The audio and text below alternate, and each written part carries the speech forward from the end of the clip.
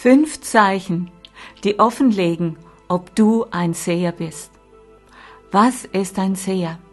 Ein Seher ist jemand, der durch Zeit und Raum sehen kann, der Dinge sehen kann, die ein Normalsterblicher nicht sehen kann, der diese besondere Gabe hat, die er aktiviert hat in sich und die es ihm möglich macht, Vorhersagen zu treffen, Visionen zu haben. Was sind die Zeichen für Menschen mit dieser außergewöhnlichen Fähigkeit? Bleib dran, denn am Ende habe ich noch eine kleine Überraschung für dich. Aber bevor ich beginne, wenn du gerne ein wöchentliches energetisches und astrologisches Update haben möchtest, dann melde dich gerne an für meinen kostenlosen und unverbindlichen Newsletter. Alle Infos direkt hier unter dem Video und teile dieses Video unbedingt mit anderen Menschen, die sich auch für diese Themen interessieren. Was ist das erste Zeichen, das dir zeigt, ob du ein Seher bist? Ein Seher sieht Dinge die andere nicht sehen können.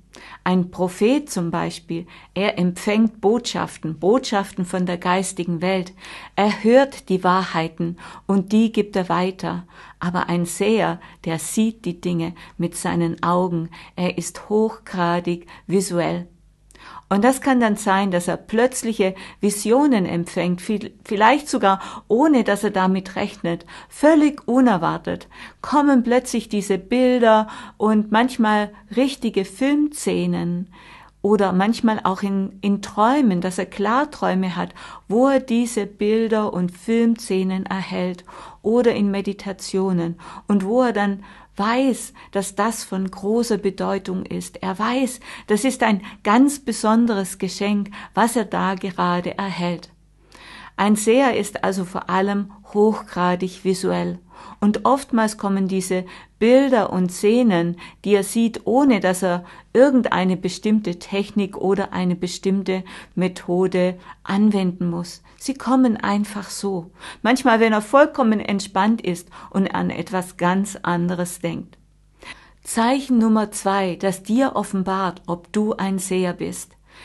Seher können nicht nur Dinge sehen wie Visionen oder Filmausschnitte, sondern sie bekommen auch die dazugehörigen Informationen. Ich nenne das oftmals Downloads. Manchmal kommen diese ganzen Pakete an Informationen sogar noch bevor diese Visionen und Bilder kommen. Und in diesen Downloads ist alles sozusagen enthalten, um was es bei diesen Visionen und Bildern geht und was auch die Lösungen sind. Alles ist dort bereits komprimiert enthalten und dann müssen diese Downloads mehr oder weniger ausgepackt werden. Und wie gesagt, manchmal kommen diese Downloads sogar bevor die Visionen kommen.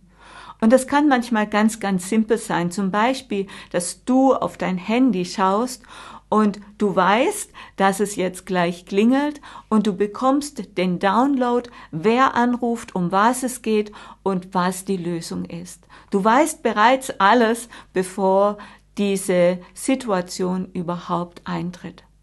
Und für einen Seher kann das etwas sein, was für ihn vollkommen normal ist, wo er gar nicht erkennt, dass er eine ganz besondere Fähigkeit da dafür aktiviert hat, weil ihm das zum Beispiel ganz, ganz oft passiert. Und er weiß, jetzt wird mein Telefon läuten und ich weiß, wer anruft, ich weiß, um was es geht und ich weiß auch, was die Lösung ist. Das kann manchmal so simpel sein. Zeichen Nummer drei. Ein Seher hat bewusste Erfahrungen, die weit über den weltlichen Rahmen hinausgehen. Zum Beispiel hat er vielleicht Begegnungen mit anderen Lebensformen, zum Beispiel auch außerirdischen oder aufgestiegenen Meistern oder Elementarwesen aus der Natur wie Zwerge oder Elfen oder Feen. Für ihn kann das etwas sein, was ganz normal ist, oder ihm begegnet Jesus in seinen Träumen. Und für ihn sind diese Begegnungen genauso real wie sein normales Leben. Er macht da keinen großen Unterschied. Er weiß, dass das, was dort passiert, zwar auf einer anderen Ebene stattfindet, aber genauso real ist wie sein normales Leben. Und oftmals hat er mit diesen Wesen schon eine ganz lange Verbindung. Und es ist für ihn sogar dieses Gefühl als komme ich wieder nach Hause, wenn ich mit ihnen zusammen bin. Manchmal kann es natürlich sein, wenn du zum ersten Mal mit außerirdischen Energien in Verbindung kommst, dass du das Gefühl hast, dass sich das etwas fremdartig anfühlt. Aber dann im Laufe, wenn du offen bist, spürst du relativ schnell, dass es dort eine ganz tiefe Verbindung gibt. Und dass es sich so anfühlt, als wärst, als wärst du Teil einer anderen Familie, die sich dort immer mehr dir eröffnet. Zeichen Nummer vier, dass du ein Seher bist. Du kannst mit Toten sprechen. Du kannst Verstorbene wahrnehmen. Oftmals erscheinen sie dir fast genauso real wie normale Menschen. Und so verhalten sie sich dir auch gegenüber. Und dann weißt du manchmal vielleicht gar nicht, dass du diese Fähigkeiten hast und ein Seher bist. Und du wunderst dich dann vielleicht, warum trägt diese Person so einen komischen alten Anzug oder so eine komische Uniform oder hat so eine merkwürdige Frisur wie aus einer anderen Zeitepoche. Und das liegt dann daran, dass sie wirklich von einer anderen Zeitära stammen und du einfach über deine besonderen Fähigkeiten sie genauso wahrnehmen kannst wie ganz normale Menschen. Zeichen Nummer 5. Du hast Déjà-vu-Erlebnisse und die sind vollkommen klar. Du kommst vielleicht an einen Ort, wo du noch niemals zuvor in deinem Leben warst und dort werden Erinnerungen wach. Du weißt genau, wenn du diese Straße weiterfährst, dann kommst du zu dem und dem Haus oder kommst zu der oder der Kirche oder du weißt genau, wie, wie es in diesem Haus innen drinnen aussieht.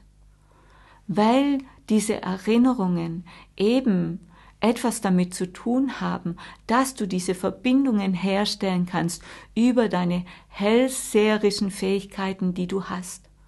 Und dann kann es auch sein, du kommst an einen Ort und plötzlich beginnt ein Film abzulaufen. Zum Beispiel an einem ganz besonderen Platz, du kommst an einen besonderen Platz, an einem Ort hin und plötzlich bekommst du Bilder, Visionen, Filme, dass dort vielleicht sogar schlimme Dinge passiert sind.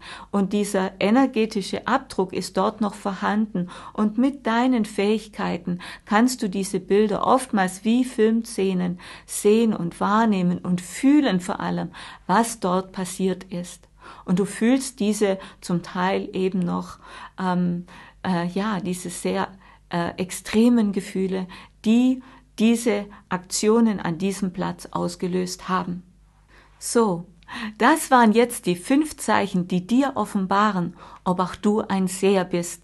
Und wenn du jetzt eines, zwei oder mehrere dieser Zeichen hast oder gerade dabei bist, sie zu entdecken, dann kann ich dir sagen, in dir liegt das Potenzial für noch so viel mehr.